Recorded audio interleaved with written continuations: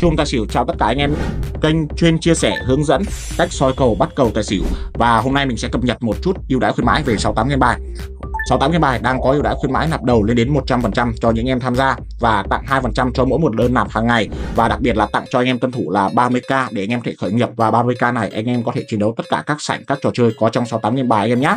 Và hôm nay mình sẽ tiếp tục vào chiến đấu kiếm lúa và sẽ chia sẻ cho anh em những kỹ năng kinh nghiệm để anh em có thể áp dụng đơn giản hiệu quả. Anh em theo dõi video có thể ủng hộ mình bằng cách nhấn like và đăng ký kênh để theo dõi những video cập nhật những cái tin tức mới nhất nha anh em nha.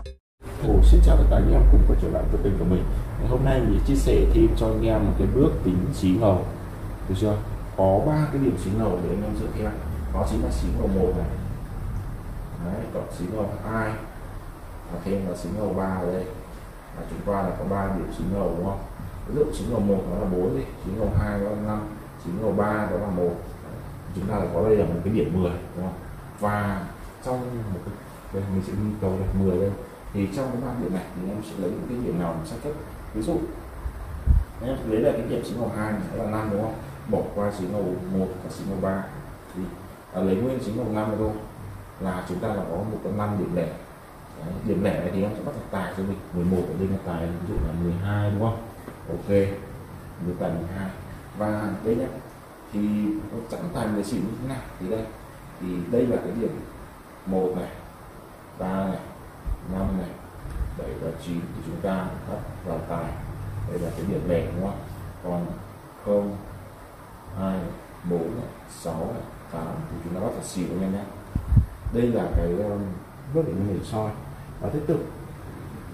Một con tài 12 thì nó có thể chạy theo xuống là 5 uh, 5 4 3 đúng không? Và tài 12 thì chúng ta tiếp tục chúng ta sẽ soi vào cái điểm chính của hai tiếp đó là chạy không thể thì nó là 4 đúng không 4 thì chúng ta sẽ có là xỉu chúng ta sẽ bắt là 12 9 đúng không?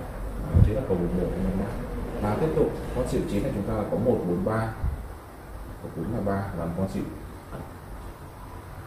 2 3 4 nhầm nhầm nhá nhé. 2 3 4 là chúng ta có một con xỉu 9 thì uh, một con lại sau tiếp là xỉu mùa 2 đó là 4 ở đây. Thì chúng ta lại có xỉu đúng không? Thế nó gãy cầu. Thế là buộc con xỉu 7 này. Đấy 7 thì chúng ta là có tiếp tục là 4 1 và 3 đúng không? Thế thì ba này là một ở giữa này là đỉnh lẻ này. Thì chúng ta bắt tiếp con tài. Đổi tài 13 đi 73 đi đúng không? Chúng đơn giản đúng không? Và tiếp tục quất tài 13 thì chúng ta phải có là ờ, uh, 4 này 4 và 5 làm con tài 13 đúng không? Là chúng ta sẽ soi ở giữa này đó là 4 là chạy. Thì chúng ta phải có một con xỉu 10 tiếp. Đấy. đây là con số ví dụ anh em nha con số mình lấy giá xác suất thôi bất kỳ khi mà em gặp phải những cái điểm chỉ ngầu này em soi như thế nào để bạn luôn y chỉ như thế. Nhớ là chỉ lấy chín ngầu hai thôi. Còn hai chín ngầu một chín ngầu ba cứ tắt hết đi. Tắt hết đi để nuôi chín ngầu hai cái bị loạn được chưa?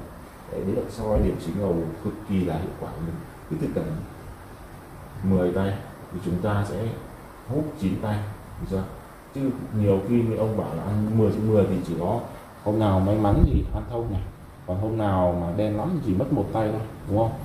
Gọi là nó đạp cầu, dĩ nhiên đạp cầu thì mình không phải nhận ra kịp thì nó sẽ, kiểu nó sẽ tự gãy đúng không? Nên vì thế mình chỉ gãy một tay thôi, mình không gãy nhiều. Nên là vì thế anh em cứ tự tin. Áp dụng với cách so sánh đầu hai của mình vào, thì cái tỷ lệ thành công cũng rất là cao luôn nhá và nếu như mà chạy nghịch thì tức là sao? Thì hai tiếng này nó sẽ sẽ đảo nhau. Tức là một ba năm bảy chín nó không phải về tài nó về xỉu, hoặc là không hai bốn sáu tám nó về xỉu hoặc là nó về tài nhưng mà trường hợp mình ít xảy ra nên là vì thế khi mà anh em soi bắt ngược ví dụ như con năm ở đây thì uh, anh em sẽ không phải là năm mà ở tài nữa đúng không? Ví dụ như 10 ở đây nữa năm không ở tài cũng là năm ở xỉu thì có thể là năm à, ghép 10 này bốn nó không ở xỉu nữa nó ở tài.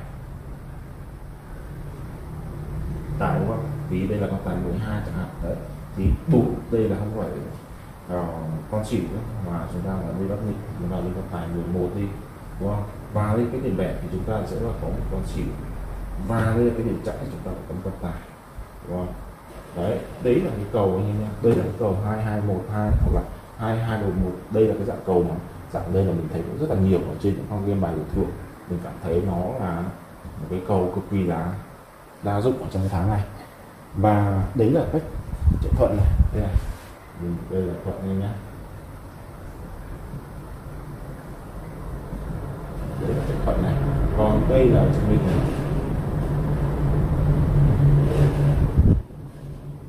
Đấy, đây là chứng minh nhá và hai cái cầu này nó có khác nhau hoàn toàn không? Đúng không? Bởi vì là mỗi khi mà mỗi cái điểm nó chạy ra như này thì đều là có xác suất của nó và mình có tính được ra theo nó thôi.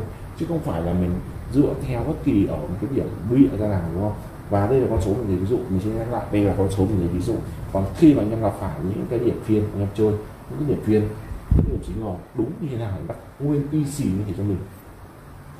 Từ những con có chính ngầu ví dụ 6 chính ngầu một cũng soi hết. Một là lẻ bắt có tài, hoặc không nào chạy nghịch thì một là lẻ thì chúng ta bắt phải xỉu, đúng không? Mà con sáu đấy thôi, nó là điểm chẵn. Thì nào thuận thì nó vẫn là xỉu nó lẻ thì vẫn là tài. Thế là vì thế, khi mà anh em tham gia cuộc chơi em nhớ kỹ là soi và tìm cái xu hướng chạy của nó nhé thì tầm hai ba tay đầu trong phiên đấy thì em chỉ cần hai ba tay đầu nó chạy hôm đấy là cứ theo chẵn thì à, cứ theo thuận thì mình vẫn sống hệt như đây là cứ chẵn tài để xỉu. Chẵn xỉu mà để tài. Còn hôm nào chạy nghịch thì cứ chẵn tài để xỉu anh em nhé nên là anh em ghi nhớ cho mình ở chỗ này. Và mình sẽ bổ tốt hơn cho anh em một cách đi vốn ờ, phù hợp với uh, đoạn này nha. Đủ combo luôn được chưa? Uh, đơn giản thôi. Ví dụ mức vốn của anh em có là 10 cụ mức vốn phổ thông đi, để cho nhiều anh em tiếp cận được nhé. Thì anh em sẽ tính ra là năm tay. Đúng không? Năm tay cho mình. Mỗi tay thì anh em sẽ đi, ví dụ là 2m mỗi tay đi 2m anh em nhá.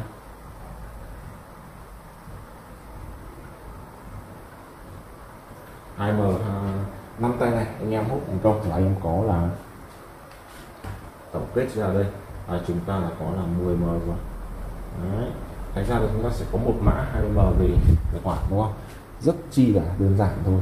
Bởi vì là riêng cái gì cái cái công thức cái kinh nghiệm mà mình chia sẻ đến với anh em thì cái tỷ lệ thành công nó cực kỳ là cao luôn anh nhé thế là vì thế khi mà anh em tham gia chơi em nhớ áp dụng cái soi điểm chín hai của mình đảm bảo là hút 100% luôn.